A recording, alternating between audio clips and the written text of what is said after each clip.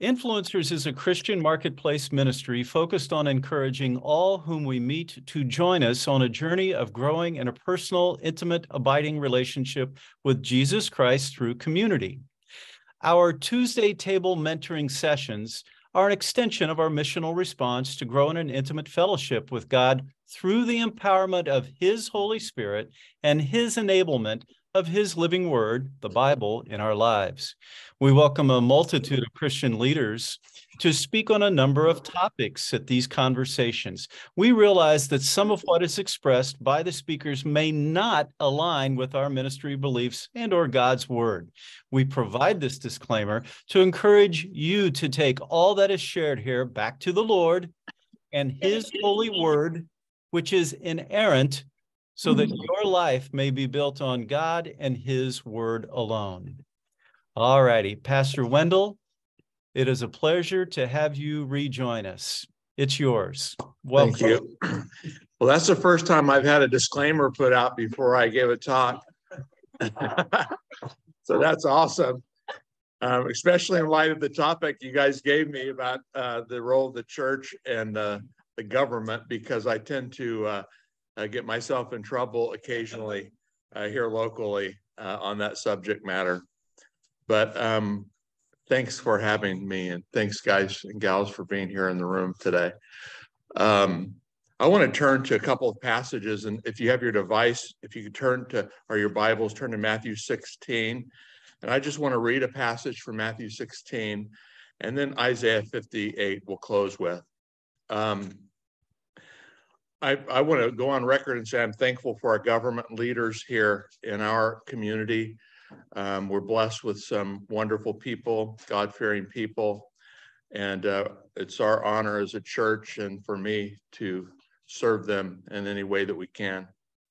Um, I think it relates to the church sometimes, you know, there's always that debate over the role of church and state. Um, I think, you know, in our country, if you look at the founding of our country, certainly the idea of separation of church and state has more to do with the church not, um, I'm sorry, the state not dictating to people what they would believe and how they would worship, uh, and less to do with whether the church actually has influence on society or on government itself. In fact, I think, you know, scripture is pretty clear that as believers, we're called first to be citizens of heaven and ambassadors of Christ.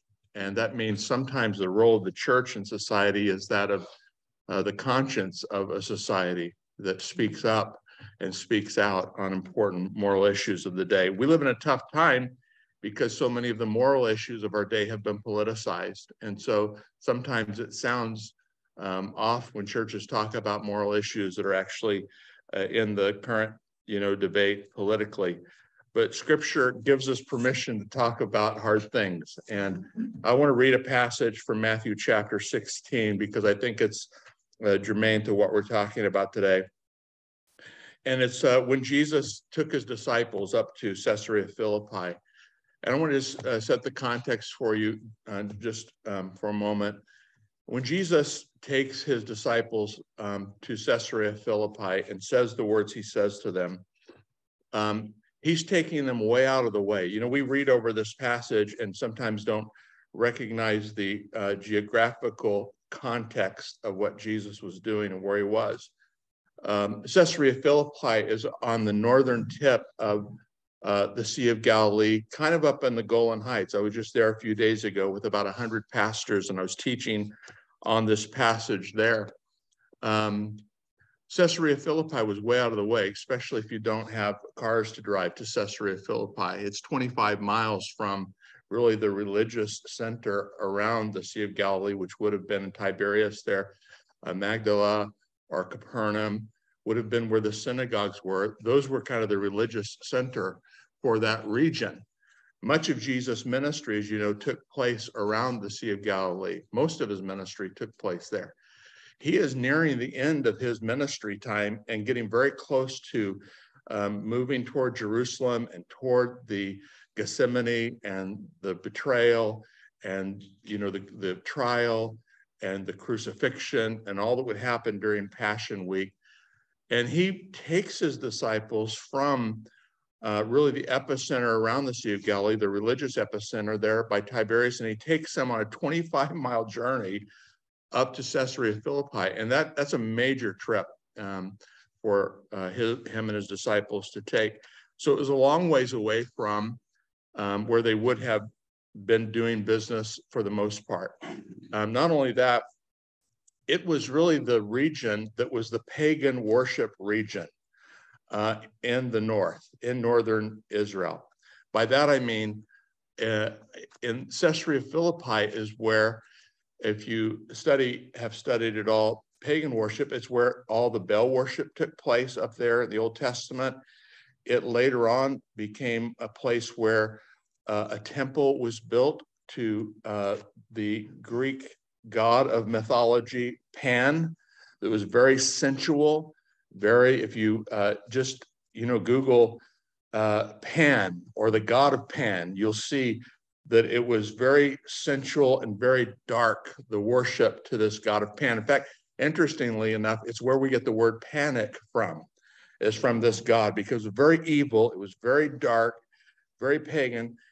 Jesus is taking his disciples up into this region, and he's taking them up there um, out of the way a long ways away and really to the bad part of town. It would almost be like if we were graduating kids out of, or, you know, students out of young people out of some um, Bible study thing, or maybe a, a seminary class, or uh, they were getting ready to be deputized, and we took them to the seediest part of town. Uh, it would be like that. Jesus was taking these, you know, his disciples all the way up, kind of at the end of his ministry, to Caesarea Philippi, to make the declaration that he makes to them there. And the backdrop for this declaration is this massive temple to this Greek god. It's actually carved out of stone. You can Google it, look it up, and see it to this day. It's, car- it's a grotto carved out of this massive stone that is at the base of Mount Hermon. And that stonework that was, and the, the whole platform of worship that they had there was very sensual, very uh, uh, evil, very dark, very sexual. And um, he takes them up there really to the darkest place in that region and gives them their commencement speech. So this is kind of a commencement speech. And I, I want to read it to you. It says, when Jesus came into the region of Caesarea Philippi, he asked his disciples, saying, Who do men say that I am, that I, the Son of Man, am? So they said, Some say John the Baptist, some Elijah, and others Jeremiah, or one of the prophets. And he said to them, But who do you say that I am? And Simon Peter answered and said, You are the Christ, the Son of the living God. And Jesus answered and said to them, Blessed are you, Simon Barjona, for flesh and blood has not revealed this to you, but my Father who is in heaven. And I also say to you, and this is really the key verse here, that you are Peter, and on this rock, the rock of Peter's confession, I will build my church, and the gates of Hades, the gates of hell shall not prevail against it. And I will give you the keys of the kingdom of heaven, and whatever you bind on earth will be bound in heaven, and whatever you loose on earth will be loose in heaven. I want you really to look at verse 18. Upon this rock I'll build my church, and the gates of Hades will not prevail against it. And I love this verse. I love the context of this passage because when Jesus says, upon this rock, he's obviously talking about uh, his lordship, him being this, uh, you know, God the Son, the Savior of the world, that he is the chief cornerstone, that the church of Jesus Christ is being built on. And he's standing in front of this massive rock, you know, temple to this pagan god. That's the backdrop. It is this massive rock behind him. It just towers over uh, Caesarea Philippi, and it's in the background. They're all seeing that. And he's saying to them, Upon this rock, I'm going to build my church. And um, he takes them to the darkest area. I mean, the darkest area in the whole region, the, the, the, the area where everything that was off limits was done, where the most vile and pagan uh, expressions of sensuality and, and, and, and pagan worship were done. And he says to them, I'm building my church upon this rock, in contrast to that rock, and the gates of hell We know that gates are defensive, right? To keep people out, shall not prevail against the church that I'm building. In other words, the church that I am building is going to be able to go right up to the gates of hell. It's interesting that if you study the god of Pan and Greek mythology, they actually called that grotto the gates of hell. They saw that as being, because it's a massive hole in this mountain, they saw it as being the place where the demonic came in and out of uh, hell. And so they call that the gates of hell. So all of his language here is very much important to the context that he has them in. And he's saying, you can you can count on this. I'm building the church. It's being built on me, the chief cornerstone. And I'm giving the church authority. I'm giving you the keys to the kingdom. I'm giving you the authority to bind and to loose. And I'm telling you that the gates of hell cannot keep you back and cannot keep you, the church, out. That you have my permission, my power, my authority to walk right up to the gates of hell and snatch people out of darkness. He's making this massive declaration to these graduates. I want you to go forth in power, and I don't want you to be intimidated by what I don't care what you see. I don't care how bad it looks. I don't care how hurting and broken people are. I don't care how lost they are, how deceived they are, how addicted they are, how hurting they are. I am commissioning you to go right up to the gates of hell, and you have the authority and you have the power to do the work of Jesus in those settings. And that just is incredibly important to me, especially as I think about the role of government and the role of the church. We are in the business of seeing people snatched out of the gates of hell. We're in the business of seeing broken people who have lost all hope or have been completely robbed of their sensibilities about right and wrong come into the glorious light of Jesus Christ. Sometimes we have taken, I believe, um, the, the, the responsibility that the Lord has put on the church to proclaim the gospel and to minister to people at their point of need. And we've tried to transfer that on the government. And then when the government's programs don't work, we say, you know what, they're doing a lousy job, vote them out, let's get somebody else in. And it is this vicious cycle that just repeats over and over and over again let me tell you that the government is power, powerless to actually change people because the government can't tell people the truth. By nature of the government, they do not have the ability to proclaim the gospel. It is to the church alone that the gospel has been entrusted, and it is the good news. It is the hope of every man, woman, boy, or girl that is hurting or broken in our society. And so the church has this amazing commission and opportunity to go in and meet people at their point of need, proclaim the gospel, and as we love them and serve them, to see their lives change and transform. So when you talk about the role of government and the church, they're just two different roles.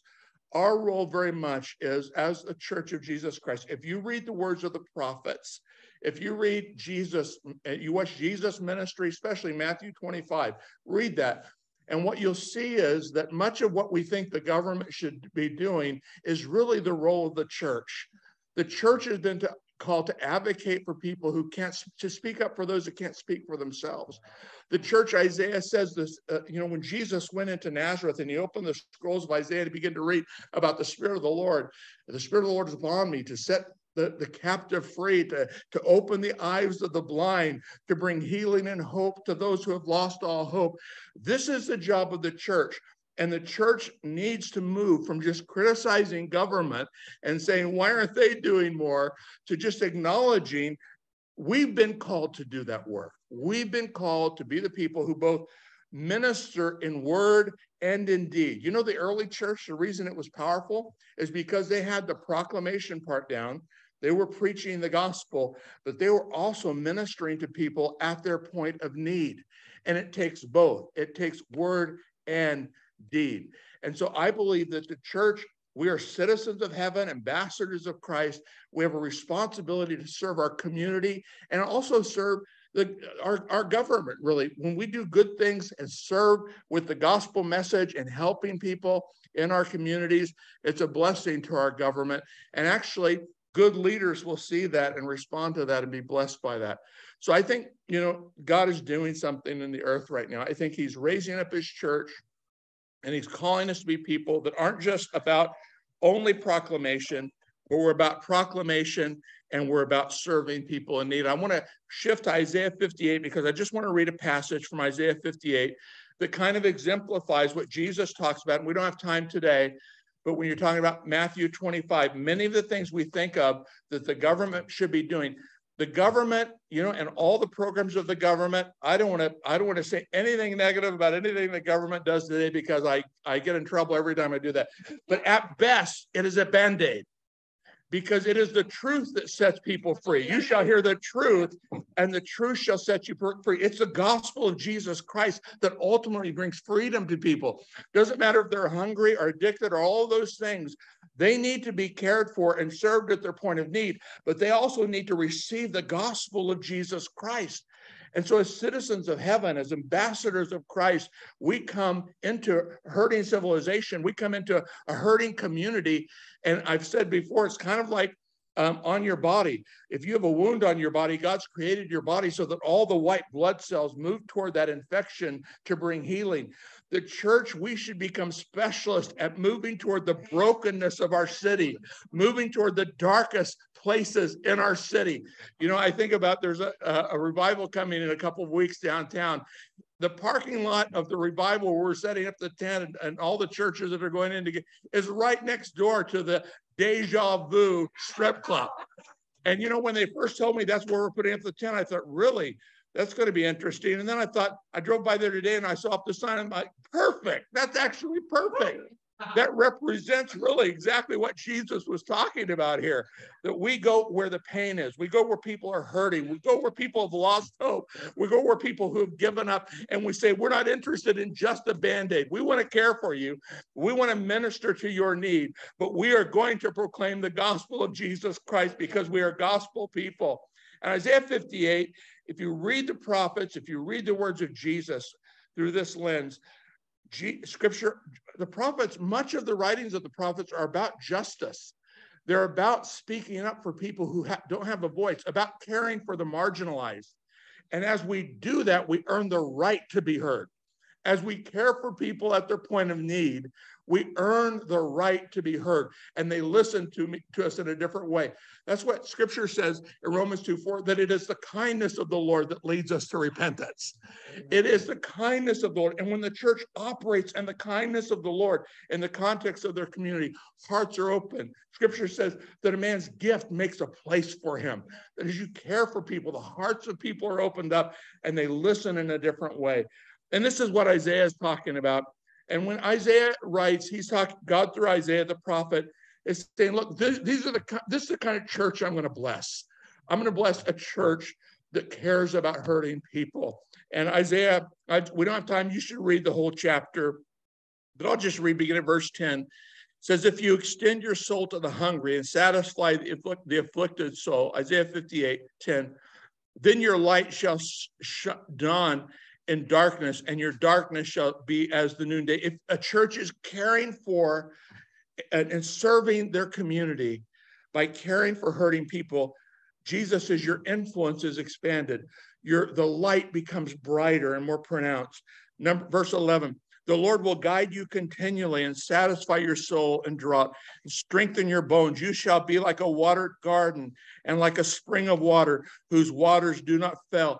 In other words, God's saying, if you care about the people that I care about, the people in your community that are hurting, and quit saying that's the government's job when you see a, a, person that is hurting. Quit saying that. That's our job.